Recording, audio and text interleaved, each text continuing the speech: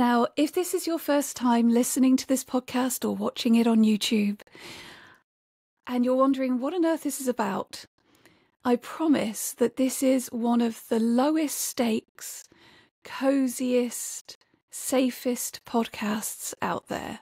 Obviously, I haven't listened to every one of the millions of them that exist in the world today, but I want you to rest assured that there is going to be nothing that is stressful or upsetting.